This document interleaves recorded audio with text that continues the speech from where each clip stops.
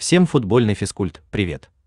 19 августа в 20 часов в Сочи в рамках пятого тура Российской премьер-лиги 2023-2024 по футболу состоится встреча между командами Сочи и Ростов.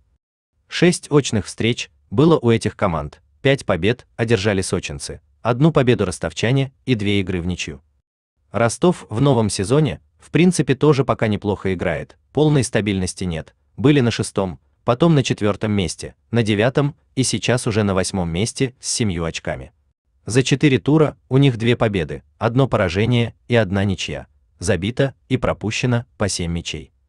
Сочи в новом сезоне вообще с третьего места скатились на девятое, потом на одиннадцатое и сейчас уже на двенадцатом с тремя очками. За четыре тура одна победа и три поражения. Забили четыре мяча и пропустили семь.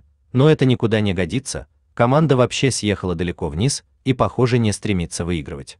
И что интересно, хоть и по общей статистике сочинцы гораздо хуже ростовчан, но букмекеры и аналитики приписывают победу именно команде Сочи, правда разрыв очень маленький. Но мнение многих профессионалов и мое личное, что фавориты команда Ростов.